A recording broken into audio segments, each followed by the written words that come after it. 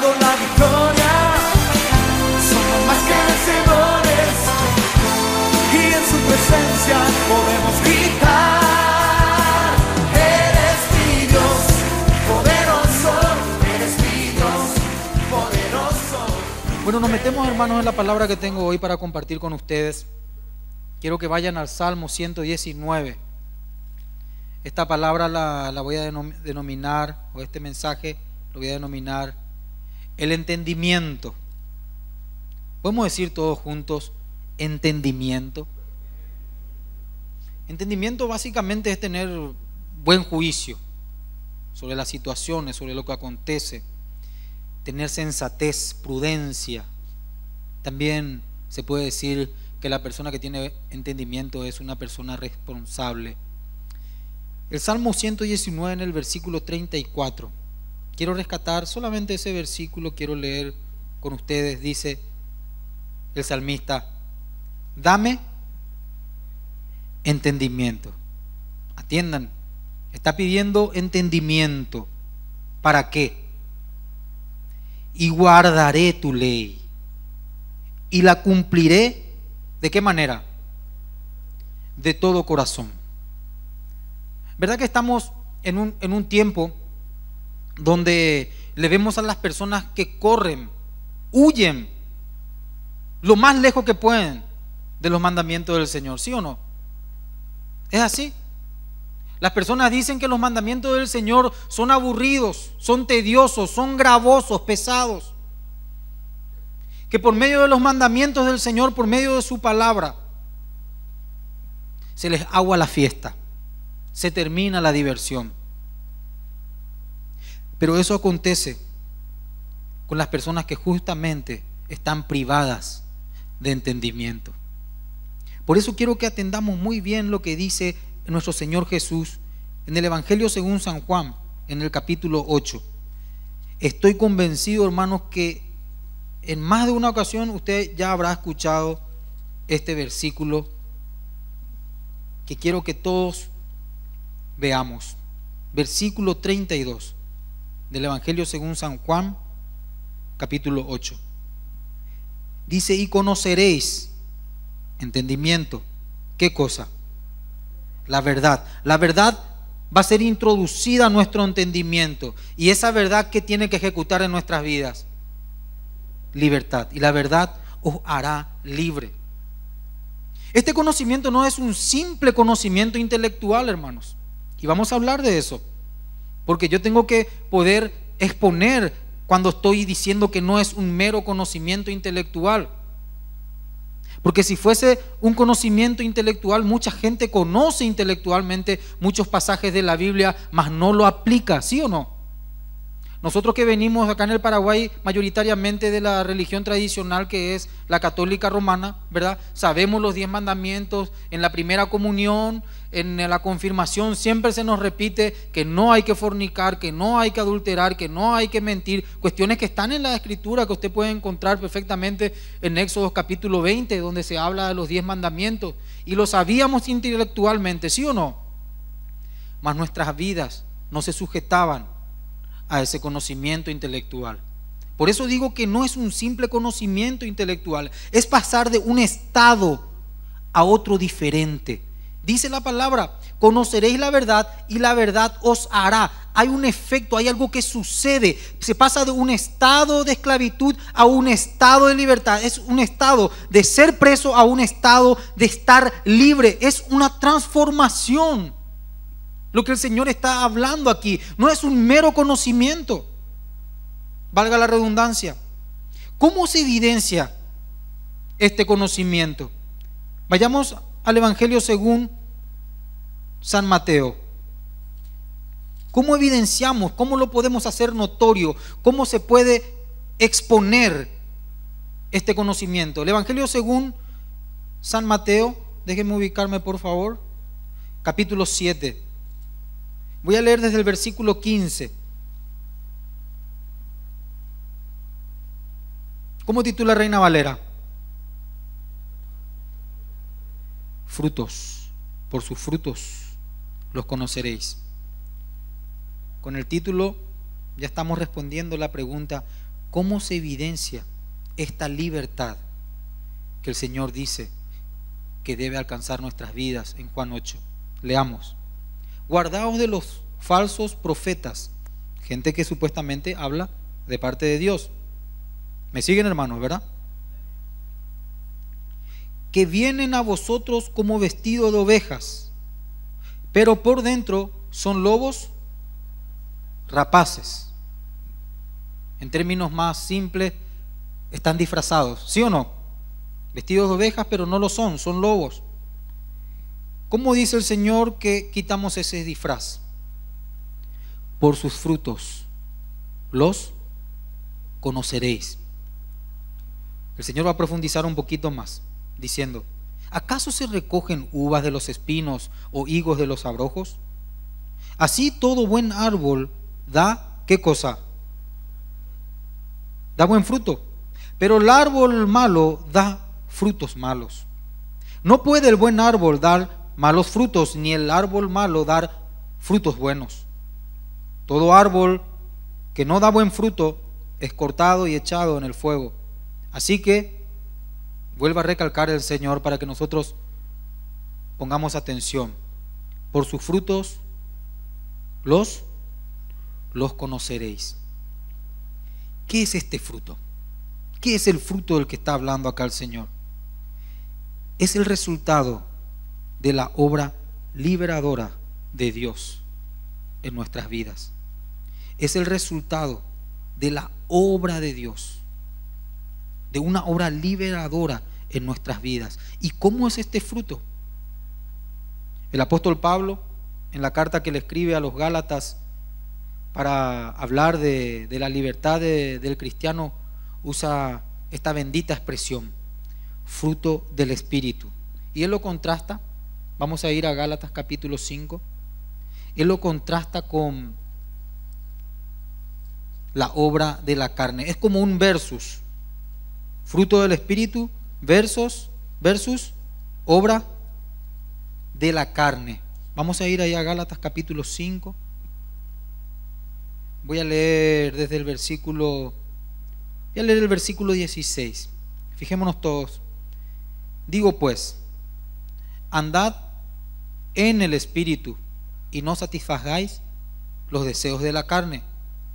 Porque el deseo de la carne es contra el Espíritu, es su adversario. Hay una oposición. Y lo vuelvo a decir. Y el deseo, ¿verdad? Del Espíritu es contra la carne. Estos se oponen entre sí. Estos se oponen, estos combaten entre sí.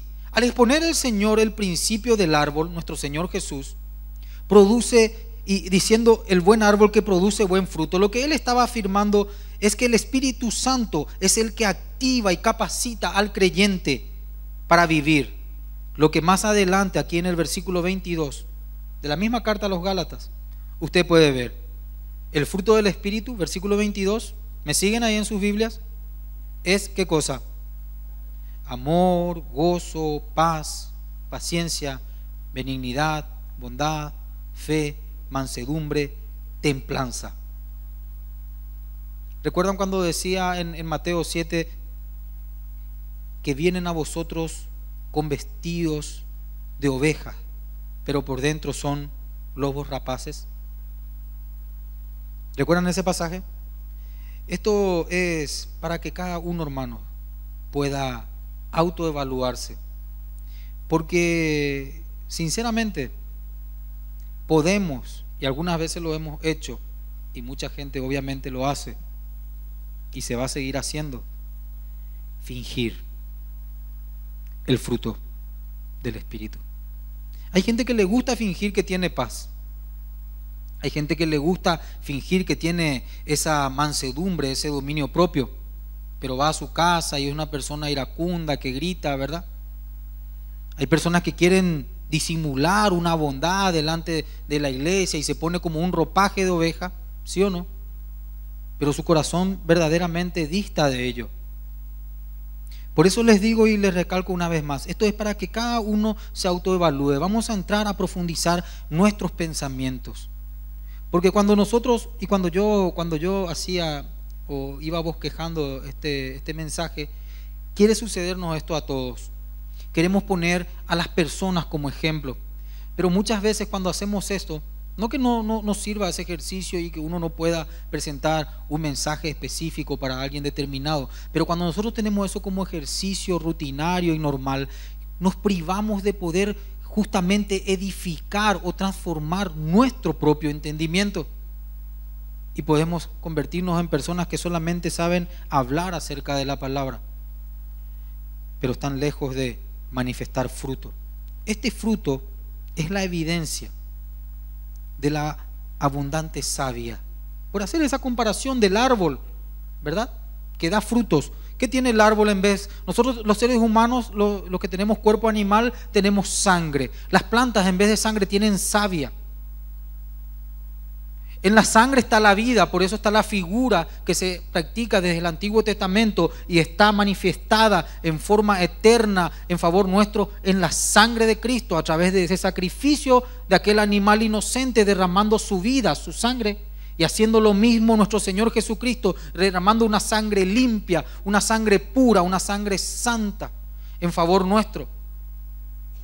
Hoy este cuerpo espiritual, el cual es la iglesia, de la cual usted y yo formamos parte, tiene una sangre que es como una savia que corre por en medio del tronco, el tallo y las ramas de una planta.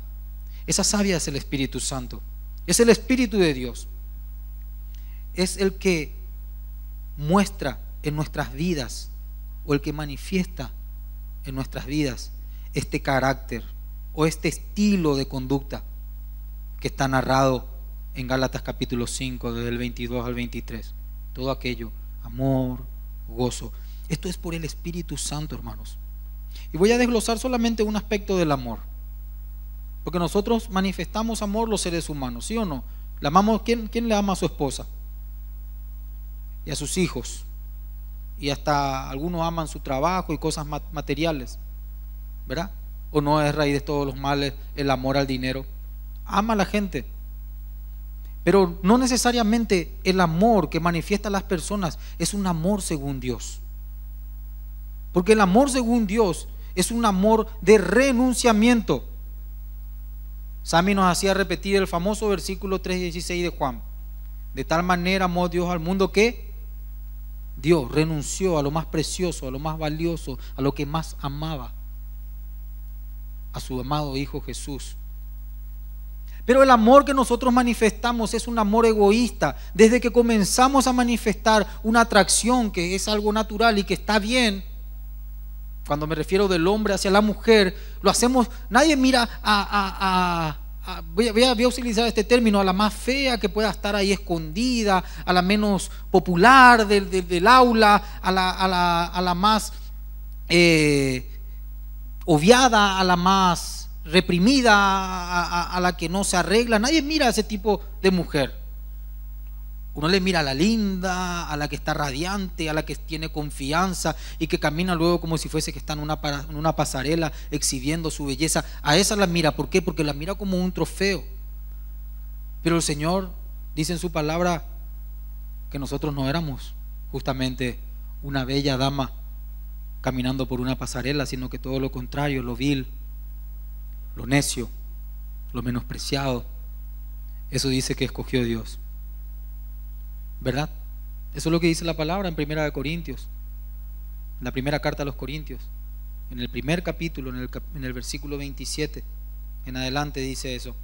Entonces, Haciendo solamente una exposición de lo que es el amor, yo puedo decir o puedo expresarle que aunque las personas puedan manifestar amor, muchas veces no es un amor según la palabra, es un amor egoísta, es un amor donde uno quiere sacar provecho, donde uno quiere autosatisfacerse antes de proveer a la otra persona, antes de proyectar a la otra persona, antes de generar felicidad o gozo o plenitud a la otra persona, uno busca su felicidad, su gozo, su plenitud y eso es egoísmo.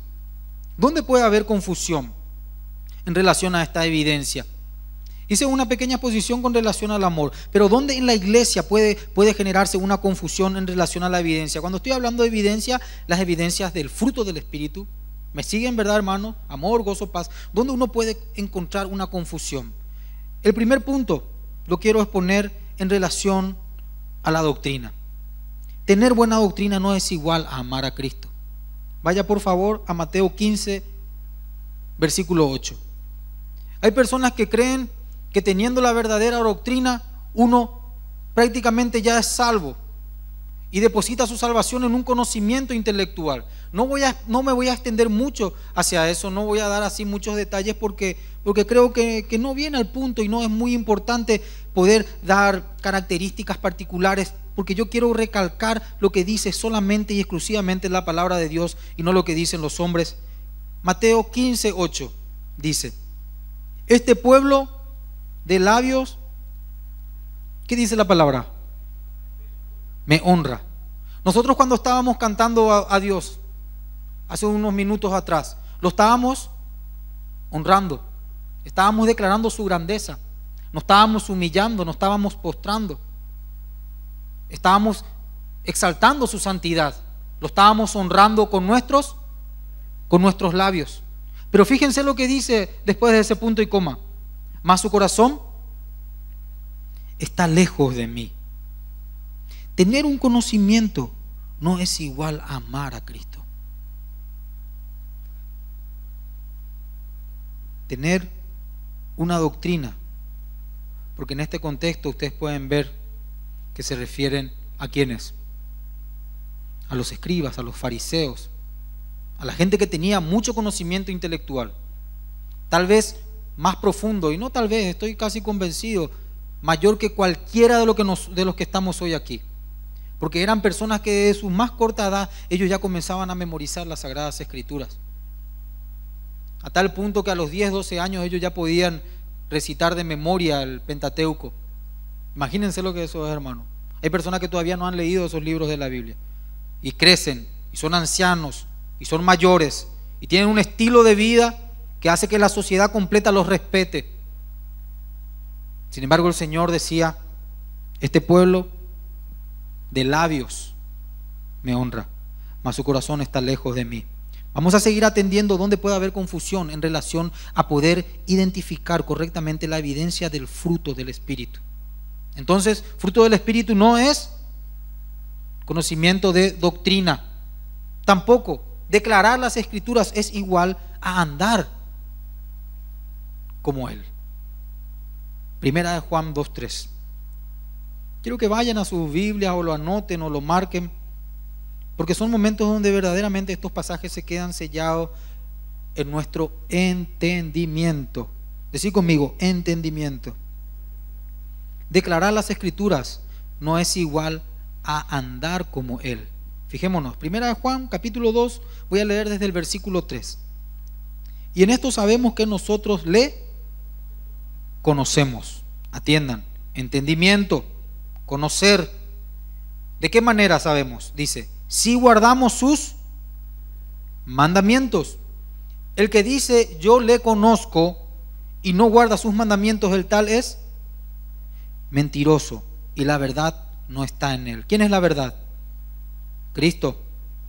Pero el que guarda su palabra, en este verdaderamente el amor de Dios se ha perfeccionado.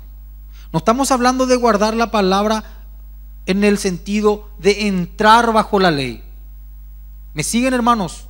No quiero que ustedes se muevan ahí de, de Primera de Juan, pero voy a leer un versículo muy contundente en relación, porque está diciendo acá, en esto sabemos, perdón, versículo 5, voy a recalcarlo para irme a un pasaje de Gálatas, pero el que guarda su palabra, dice, en este verdaderamente el amor, en este verdaderamente el amor de Dios se ha perfeccionado. Y yo les dije, esto no se refiere a entrar bajo la ley para pretender salvación de parte de Dios. ¿Por qué? Porque Gálatas 5, versículo 4, para el que quiera anotarlo, de cierto os digo, dice, no, perdón, de cierto os desligasteis Gálatas, ustedes quédense en Juan, voy a leer, aunque si quieren pueden ir igual y dejan el dedito ahí marcando, porque no leí todo el contexto de primera de Juan capítulo 2. Voy a leer Gálatas capítulo 5. De Cristo os desligasteis, los que por la ley os justificáis. Y es muy contundente lo que dice al terminar este versículo 4.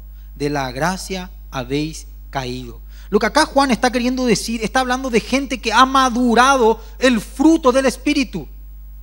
Gente que ha manifestado genuina conversión en mansedumbre, en templanza, en saber amar, en tener paz por encima de las circunstancias.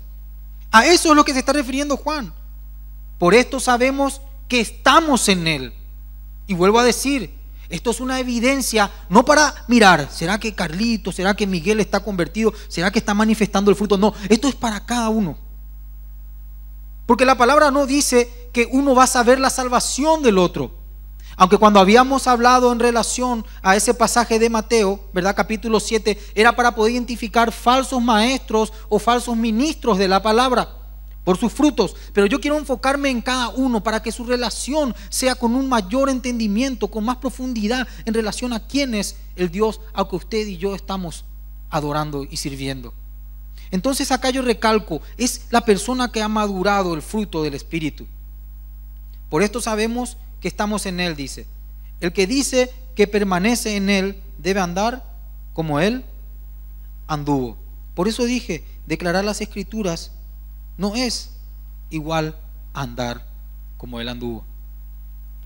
Yo puedo, hasta puedo bajar una prédica por internet y puedo venir a leerla acá y puedo tener elocuencia. Es más, hay mucha gente política, muchas, muchas personas que tienen mucho más elocuencia y hasta pueden ser más convincentes que yo. Pero eso no lo hacen un genuino árbol que da genuino o buen fruto. Filipenses 1.15.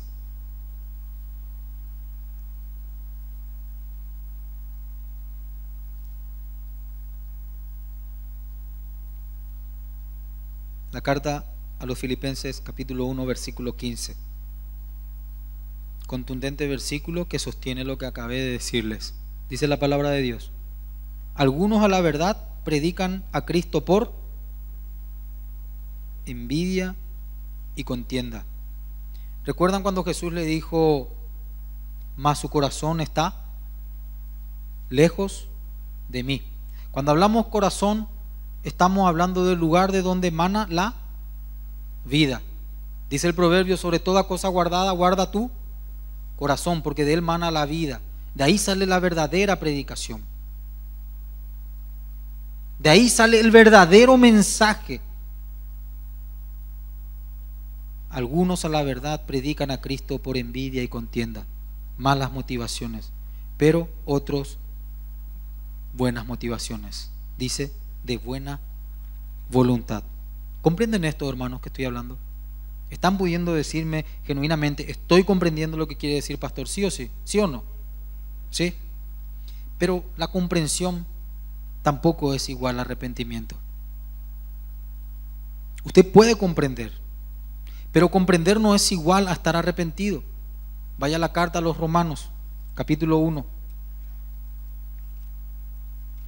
Habíamos dicho anteriormente que mucha gente conoce la palabra de Dios,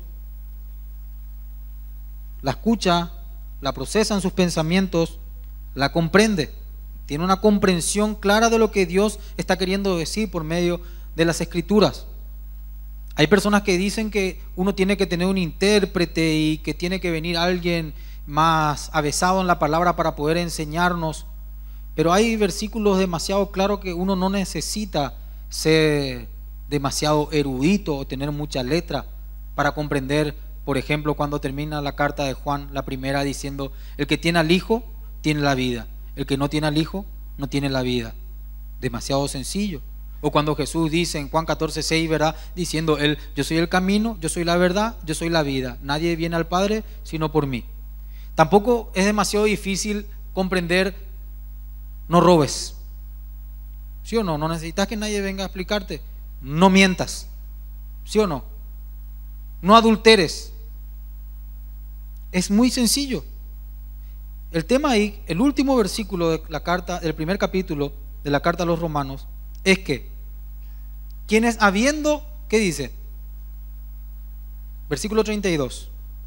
Quienes habiendo entendido, comprendieron el juicio de Dios, que los que practican tales cosas son dignos de qué? Ellos entienden. Usted y yo entendíamos. No solo lo hacen, sino que se complacen con los que las practican. Santiago nos lleva a profundizar esto aún más en nuestros corazones. Vayan rápido a la carta de Santiago. En el primer capítulo, dice Santiago desde el versículo 22, vamos a leer todos juntos. Pero sed hacedores de la palabra y no tan solo oidores, engañándoos a vosotros mismos. Porque si alguno es oidor de la palabra, pero no hacedor de ella, este es semejante al hombre que considera, dice, en un espejo su rostro natural, porque él se considera a sí mismo y se va. Y luego, ¿qué dice? Olvida cómo era. Más, el que mira atentamente en la perfecta ley, la de la libertad, y persevera en ella, no siendo oidor olvidadizo, sino hacedor de la obra, este será bienaventurado en lo que hace. Atendamos, dice, hombre que considera en un espejo su rostro, uno mira. Cuando yo miro en el espejo de la libertad, yo observo en el espejo de la libertad mi rostro. ¿Verdad? Aquí el apóstol Pablo dice que en las escrituras nosotros podemos conocer que codiciamos. Porque si la ley no dijere, no codiciarás, ¿verdad? Entonces no hubiera habido pecado. Nos miramos, contemplamos nuestro rostro, ¿sí o no? ¿Somos pecadores, sí o no? ¿Está sucio nuestro rostro, sí o no? Está. Pero Dios nos deja así no. Él proveyó para ser limpiados, como dice David en el Salmo 51, lavados con hisopo, blancos como la nieve, con vestidos blancos delante de nuestro Padre. Seguimos contemplando nuestro rostro porque esa es nuestra identidad también. El apóstol Pedro dice muy claramente que nosotros somos una nación santa, un real sacerdocio, un pueblo adquirido por Dios. Seguimos contemplando nuestro rostro en el espejo.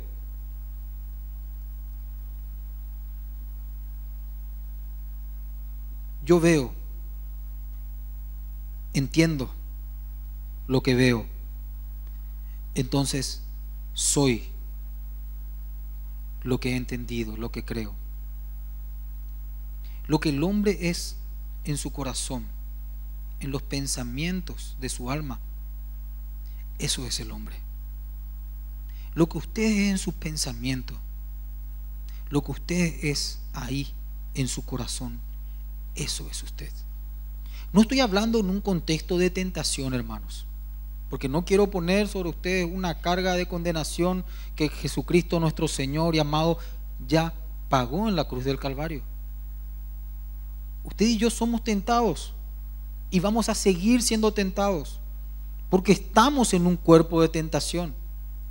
El apóstol Pablo lo habla muy claramente, diciendo que la carne no quiere sujetarse a la palabra de Dios. Y no solamente no quiere, no puede, en el capítulo 8 lo dice. Es muy explícito, muy sencillo de comprender. Pero una cosa es estar en la tentación y otra cosa es vivir en ella. ¿De qué manera? No solamente comprenden el juicio de Dios. Voy a volver a decir ese pasaje de Romanos, sino que se complacen en ellos. Entonces, usted tiene que ver quién es, entender quién es y serlo. Si hay algún pecado, sea consciente o inconsciente, o algún pecado oculto que usted tiene, vaya a Proverbios capítulo 6 Y mire lo que dice la palabra. Y tal vez haya personas que no estén en adulterio, específicamente porque este versículo 32 habla de eso, capítulo 6 del libro de Proverbios, versículo 32. Pero el Señor, ¿dónde condenó el adulterio?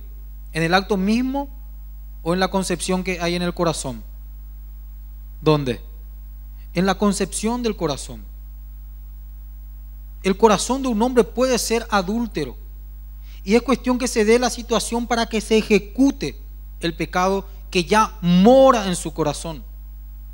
Es muy fácil que se dé la situación. Y el enemigo algunas veces ni siquiera tiene que proveer del evento específico para que uno caiga en el adulterio o en la fornicación, porque ya está su corazón atrapado, él vive atrapado en eso, porque sus pensamientos giran en torno a eso.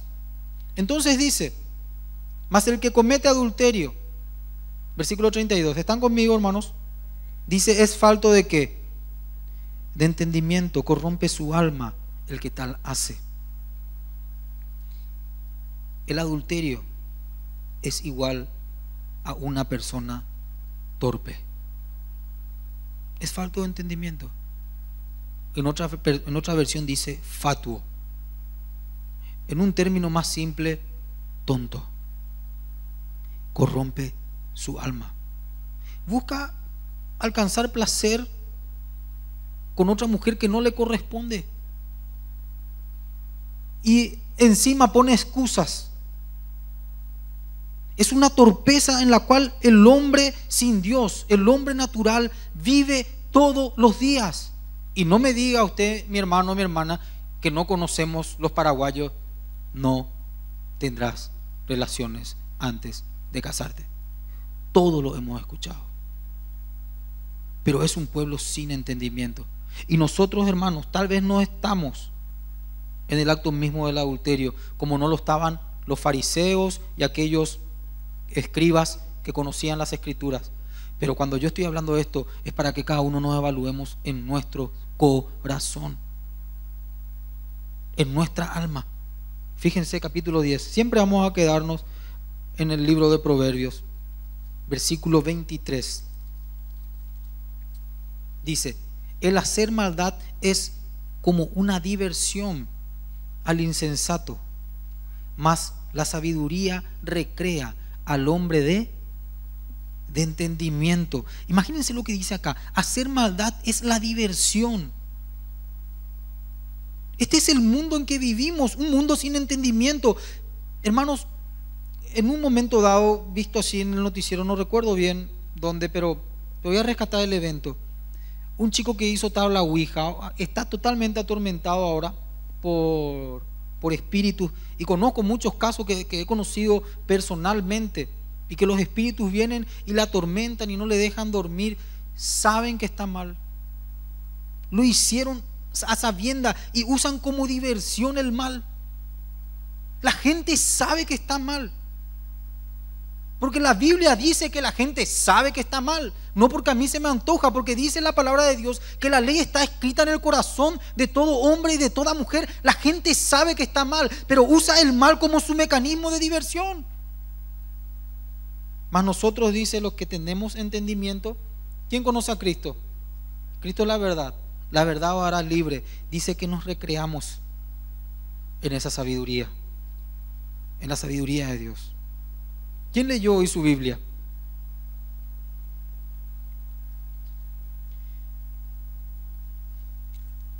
Recrearse.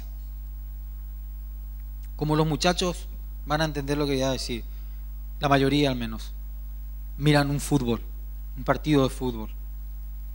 Como las mujeres que van al shopping y compran un zapato, se recrean, se divierten.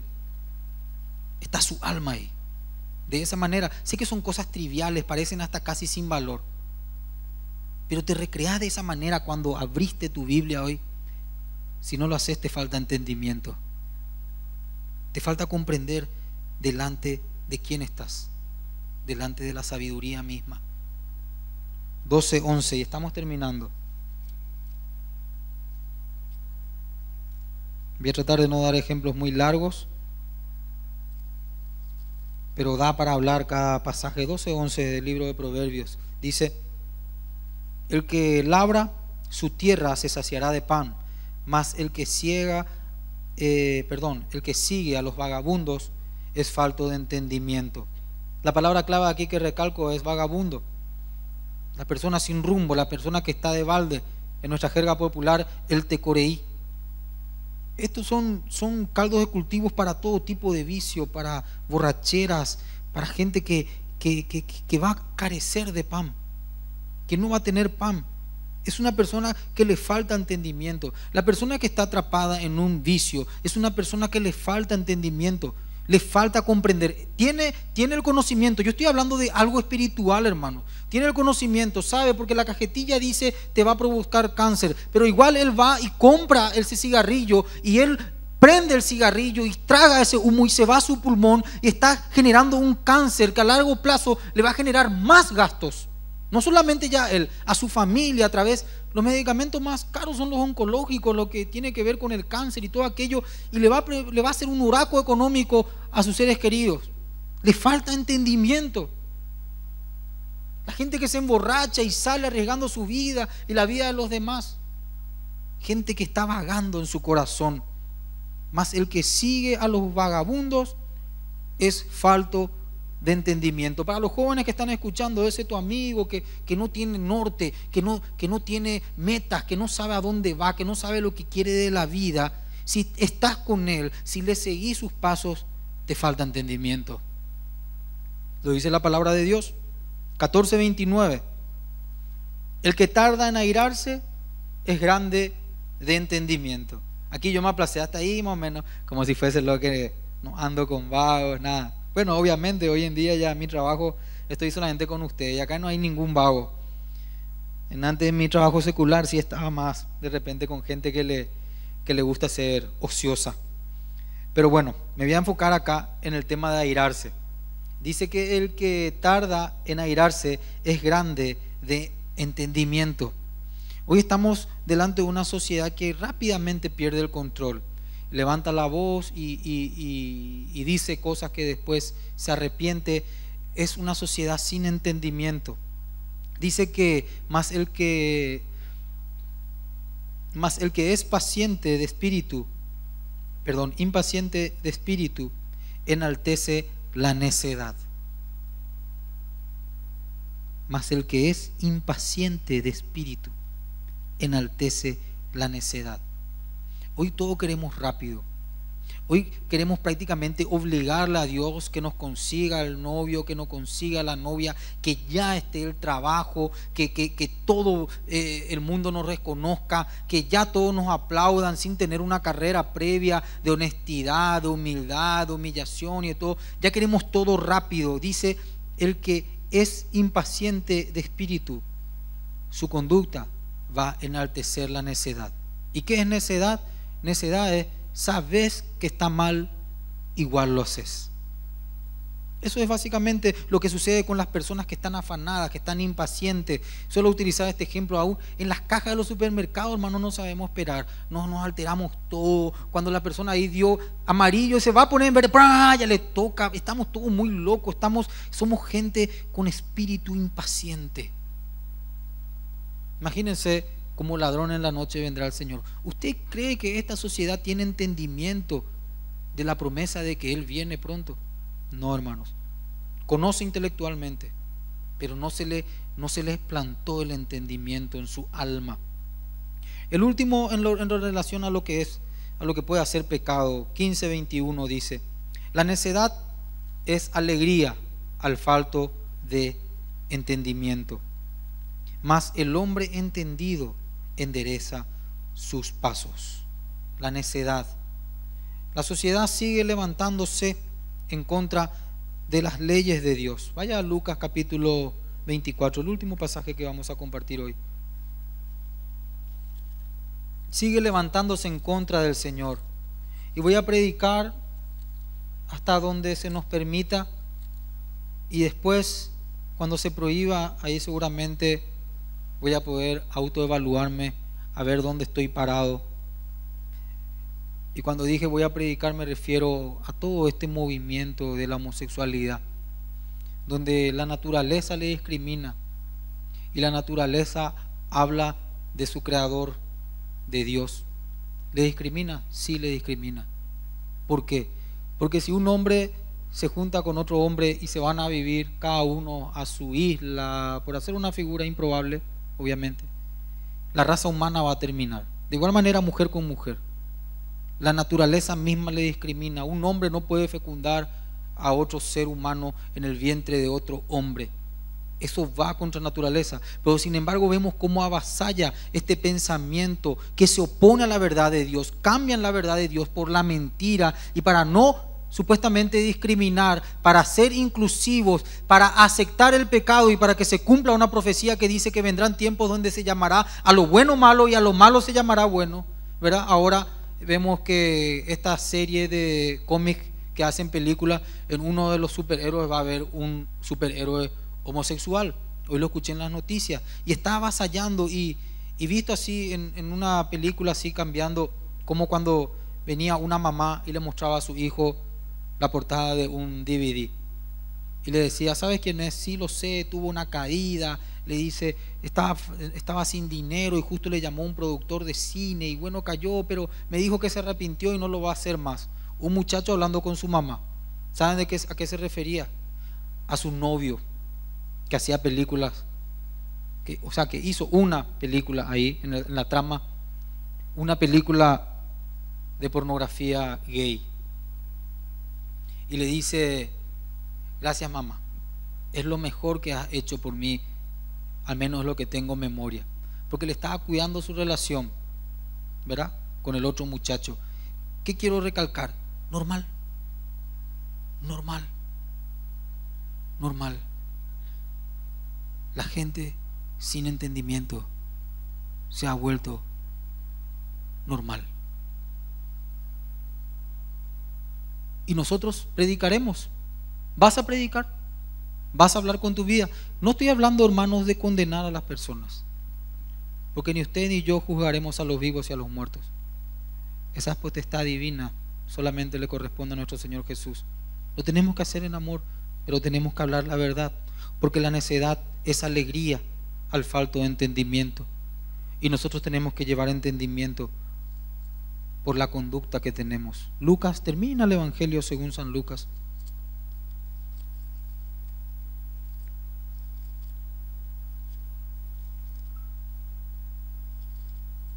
capítulo 24. Si no fuese por Dios, hermanos, si no fuese por la bendita presencia del Espíritu Santo en medio de nosotros, en nosotros, su iglesia, verdaderamente todo está para que nos amarguemos, hermanos. Todo se levanta contra Dios, todo es hostil contra la palabra. La violencia en contra del mensaje, que es el nombre de nuestro amado Jesús, llega a niveles que más de un predicador por ahí o alguna persona dice que la tribulación ya está en plena ejecución. Es más, Pablo, cuando predicaba y cuando escribió su carta a los tesalonicenses, él decía, y nosotros los que hayamos quedado, seremos arrebatados, seremos llevados en el aire, ¿verdad? Él, él, veía una tribulación, una hostilidad contra el mensaje. Este mensaje te perjudicó, hermano. ¿Te perjudicó la palabra de Dios? ¿Te hizo una, persona mala? Hace que vos quieras levantarle a la esposa de tu amigo, de tu compañero de trabajo. Esta palabra te incita a que vos le estafes, a que vos le engañes a tu compañero de negocio. Esta palabra hace que vos confíes en la mentira y que seas una persona que no sea digna de confianza. Esta palabra de Dios hace de que seas una persona que tenés que discriminar. No, tenés que ser una persona que ame. Tenés que ser una persona que bendiga y que no maldiga, que ore por los que les persiguen, que ame a su enemigo. Esta es palabra de Dios. El estándar divino es muy superior a lo que el hombre natural puede comprender. Y si no fuese por el Espíritu Santo y porque el Señor abrió nuestro entendimiento, ni usted ni yo estaríamos hoy aquí. Dice Jesús se le aparece a sus discípulos Jesús se puso en medio de ellos, versículo 36, y le decía, paz a vosotros. En el versículo 41 ustedes pueden ver que, la gente estaba gozosa, pero no lo creían aún, dice. Estaban maravillados. Entonces el Señor les pide para comer, para que vean que verdaderamente era Él, que estaba en cuerpo. Pero quiero irme al versículo 45 de este evento donde el Señor resucitado se les parece a sus discípulos. Dice, entonces les abrió qué cosa? El entendimiento. El Señor nos ha abierto el entendimiento, hermanos. ¿Quién dice gracias, Señor? El Señor nos ha abierto el entendimiento para que pudiésemos nosotros comprender las escrituras. Él les dice, así está escrito y así fue necesario, que el Cristo padeciese y resucitase de los muertos al tercer día, y que se predicase en su nombre el arrepentimiento. Y arrepentimiento, hermanos, no es igual a qué ¿A qué habíamos hablado? A comprender. Arrepentimiento es vivir en el perdón de los pecados. Una persona que se ha arrepentido es una persona que está libre de su pecado. Es una persona que ha sido rescatada de la esclavitud de su pecado. Una persona arrepentida es una nación santa es un linaje espiritual de un reino que está en los cielos y que un día se va a manifestar delante de todos los ojos, de los que ya perecieron y de los que van a nacer.